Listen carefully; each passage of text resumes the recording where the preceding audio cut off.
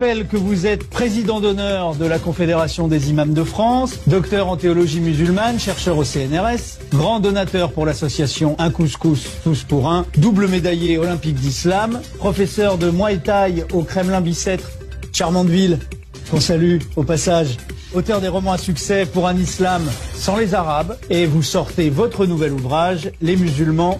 Stop. Euh, Monsieur Arbouni, chacun vous connaît, chacun vous respecte, mais certains soulignent que vous n'êtes pas entendu par les musulmans de France et beaucoup vous reprochent de ne pas défendre la religion musulmane à leurs yeux. Quelle est votre position sur la djellaba?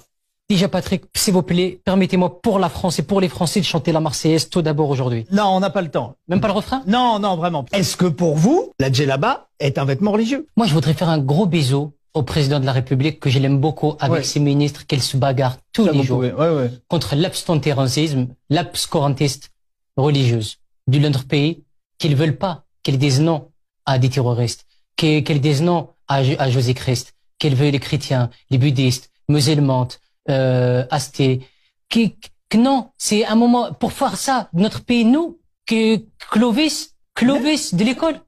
Sinon, et quand il a un là-bas derrière une voiture, un Twingo, Oui. et c'est ce monde à l'envers. Mais- C'est monde à l'envers. C'est il a cassé la toutes, toutes les journées. Mais oui. Eh Euh, L'interdiction